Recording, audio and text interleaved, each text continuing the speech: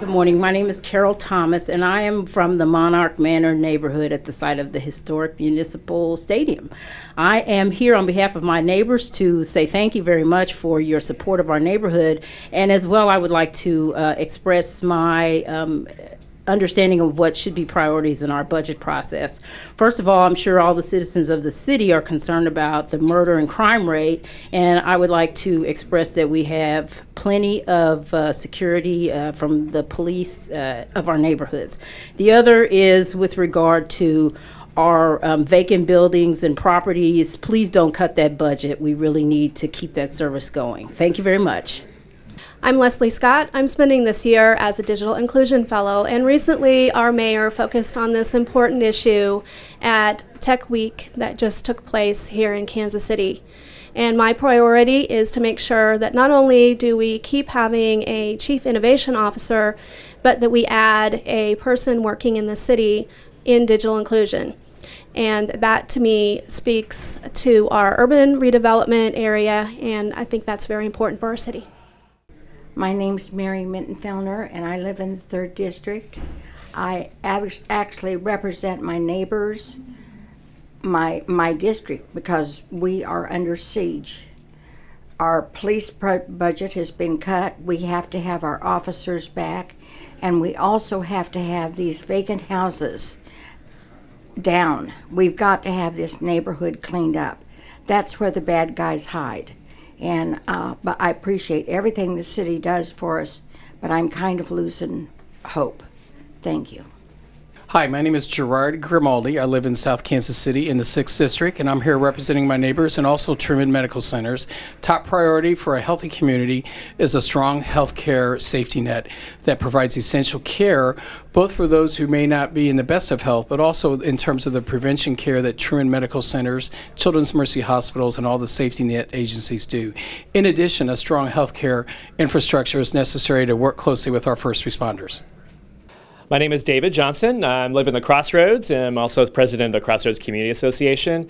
And my personal goal and hope for the council as they work on a new budget is to prioritize transportation and infrastructure spending. Uh, we're a very large city. We have a lot of infrastructure for a small amount of people, and we need to make sure we're maintaining that for the next generation.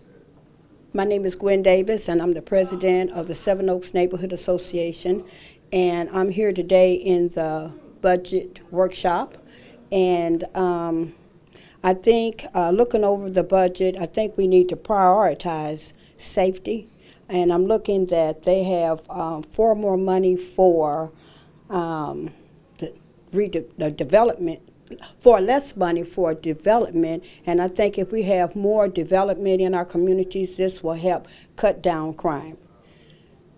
Um, so I would like to see a better adjustment of some of the budget money so that it would be more uh, things implemented in our communities to keep our neighbors safe. Hello, my name is Takesha Ford. I live within the Wendell Phillips neighborhood area that's located within the 3rd District. And I believe one of the most prioritized investments should be within our 3rd District youth, uh, their education. We have so many homeless youth that are sleeping within the parks, not getting education, and falling by the wayside. So I think if we develop more recreational things for them to do, uh, most importantly, invest in their education, uh, whether you're giving them free workshops within communities, open up more community centers, things of that relevancy will uh, invest in long-term successful youth in the state of Missouri. I'm Greg Lombardi with Legal Aid of Western Missouri. I believe that the city should be investing in the future, and a lot of that is working on urban core issues, dealing with abandoned properties, vacant properties, and giving economic development opportunities in the urban core and uh, developing the youth of the urban core. Mayor James made the point that if you uh, you got to take away money to fund something, if you're not funding these urban core issues, you are taking away money from the future of Kansas City and Kansas City's development. Thank you. I'm Eva Schulte with Communities Creating Opportunity, and this was a great process on community participatory budgeting. And um, we know that budgets are moral documents.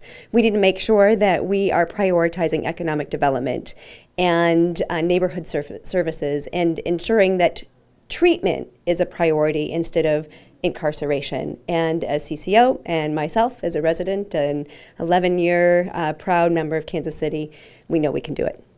Uh, my name is Seth Hunter, representing Communities Creating Opportunity, a nonprofit organization here in Kansas City.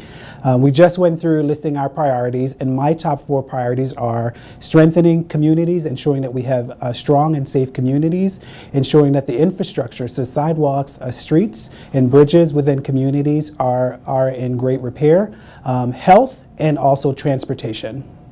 Okay, so my name is Brian Stalder. I'm from the Indian Mound Neighborhood Association, and I think that uh, crime prevention and crime intervention um, is our top priority because we can uh, spend a lot of money uh, bringing people to the city and letting them know how cool Kansas City is, but if people don't feel safe here or if we get a bad reputation for crime, uh, people aren't going to want to stay. And, uh, and I really think that uh, you know the police department they can do a lot in reacting to the crime, but um, I think that if we spend more time um, uh, identifying kids, at-risk youth, and uh, giving them positive activities and keeping them on track, uh, that we can do a, a, lot better keeping kids out of jail, fighting the prison industrial complex, and uh, just making sure that uh, uh, the kids in our community have a safe and productive place to grow up and provide opportunities for them. Hello, my name is Karen Dolt. I am CEO of Northland Healthcare Access. I am part of the Safety Net Clinic structure that, we that receives health levy dollars. It is a priority in our community that these services be at, left at the level they are or given uh, additional funding. We live in a state that unfortunately hasn't seen the, as a priority to um, expand Medicaid, leaving those citizens that are uninsured in our community very vulnerable. Those are the folks that you walk through the grocery store with that serve you, you your food. And it's essential that those folks uh, are served with quality and quantity of health care. Health care is not a privilege. Health care is a right. I'm Beth Lowe Smith. I am a 15 year resident of Kansas City, Missouri, and I'm also the vice president of the policy work at KC Healthy Kids.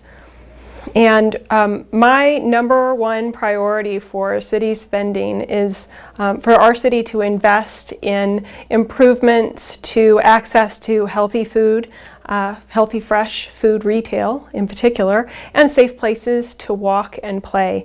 And that's my priority because um, I, I believe that when our, our communities, our neighborhoods support healthy habits, we are less likely to suffer from obesity, uh, which is linked to type 2 diabetes, heart disease, and poor mental health.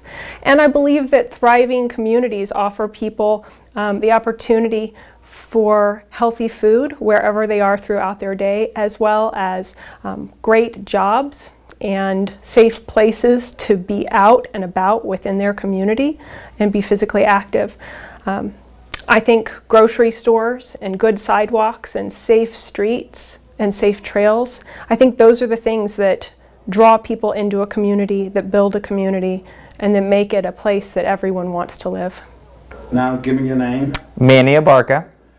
Uh, my top priorities um, relate a lot when it comes to the actual neighborhoods themselves, whether it be the parks uh, commission and making sure that our parks are fully funded and that there are resources there for the neighbors to use within the community, um, as well as emergency response in terms of having um, KCPD on the ground, uh, more officers in our community, a better response for our 911 services. Hi, I'm Teresa Owens. And hi, I'm Nina Whiteside McCord, and we're here representing Maryland Ridge, and we are new for KC. We're located off of 66th and Troost between Paseo. And our interest here today that we would like to tell the city is about abandoned housings. We have a great need for more uh, codes inspectors.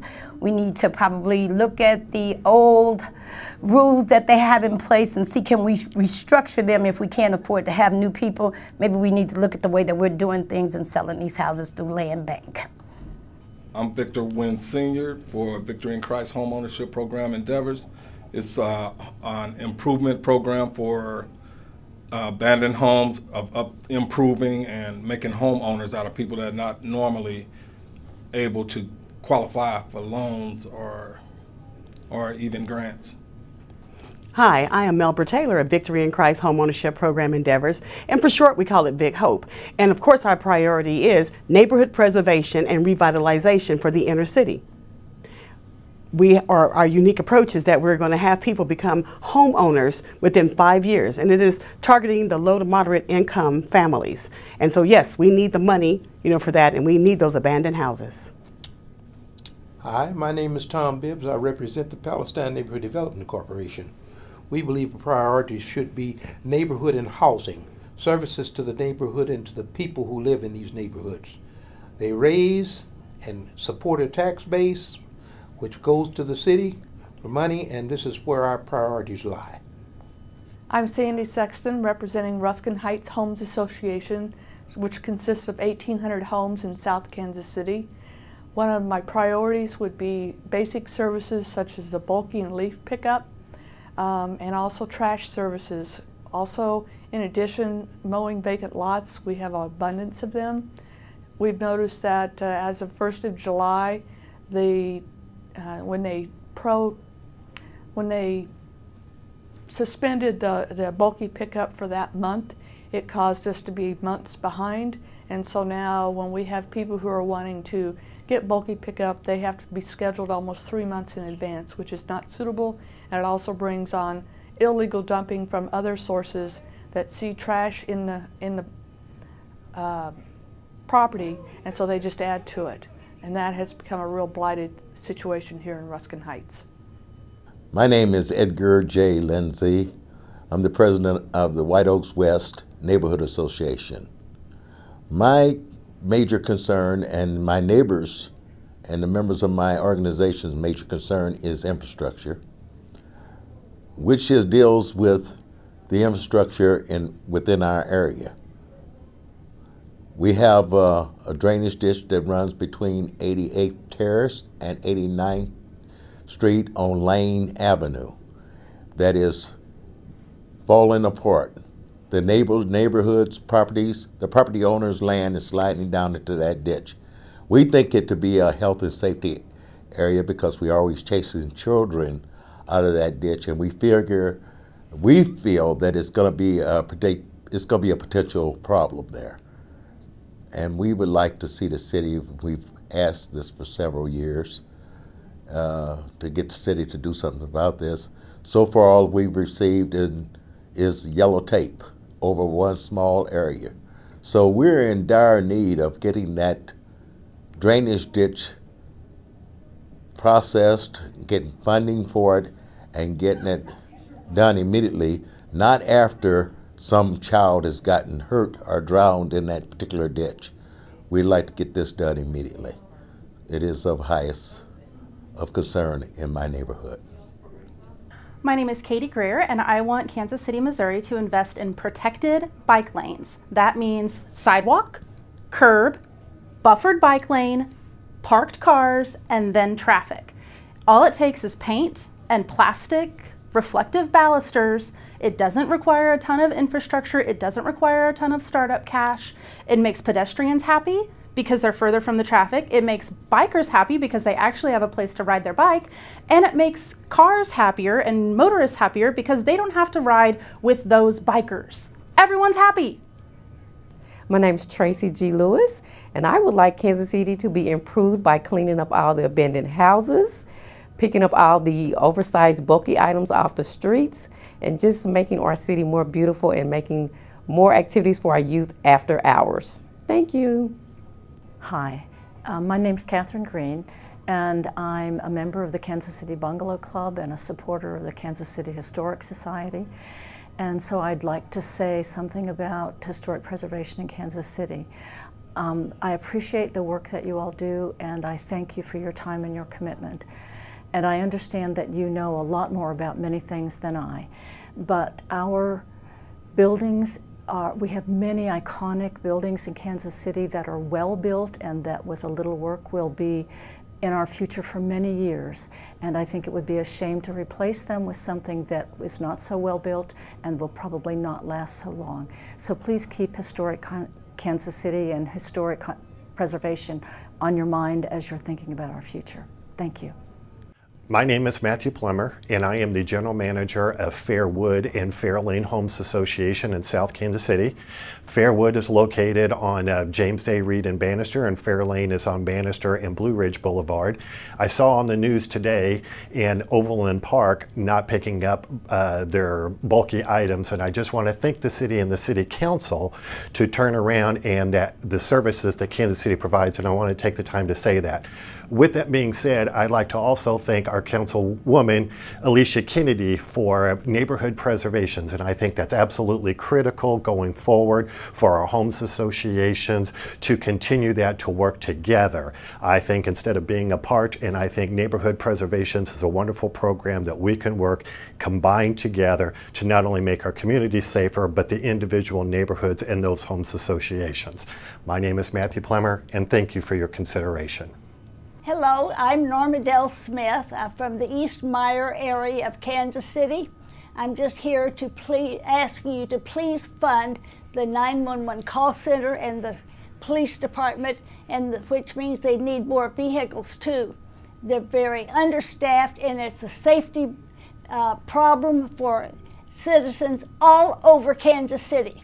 So it's not just here, but the entire city needs your help on funding these departments, please. Thank you. Hi, my name is Brenda Thomas, and I'm president of the Marlboro Community Coalition. And I'm here with this budget exercise today, and it's, it's marvelous. Um, I would like for the City Council to understand the priorities of the Marlboro area.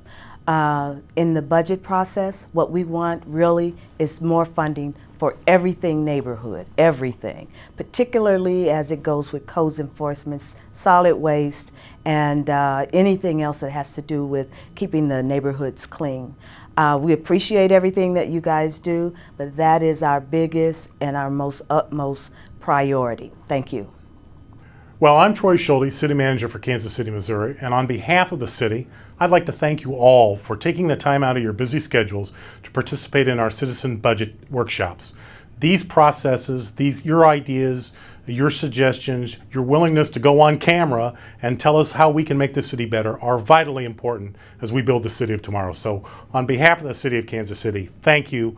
We're, we look forward to your, your efforts in the future and can't thank you enough for the work you provided for us today. Thank you.